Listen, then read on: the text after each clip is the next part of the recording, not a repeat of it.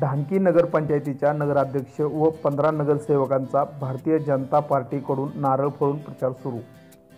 ढांकी नगरपंचायत निवडणुकीसाठी प्रभाग वार्ड सतरासाठी भारतीय जनता पार्टीकडून नगराध्यक्षसाठी सुरेश नारायण जयस्वाल यांच्यासह पंधरा नगरसेवक रिंगणात उभे आहेत. आज सकाळी ढांकी येथील महादेव मंदिरामध्ये नारळ फोडून प्रचाराला सुरुवात केली.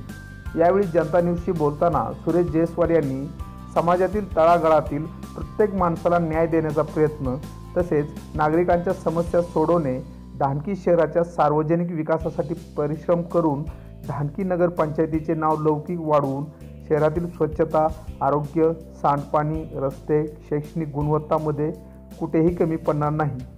तुमची साथ ढानकी नगरपंचायतचा विकास असे म्हटले.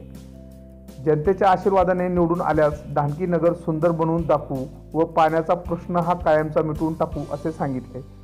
यावेळी दिगंबर वानखेडे प्रफुल्ल कोठारी विष्णुदास वर्मा प्रकाश जयस्वाल गंदेवार बुडजी जिल्हावार महेश पिंपरवार गणेश सुदेवाड व सर्व कार्यकर्ते व महिलांच्या उपस्थितीत प्रचाराचा नारळ फोडून आपल्या ढानकीच्या विकास व विजयासाठी एक पाऊल पुढे असे म्हणून सुरुवात केली.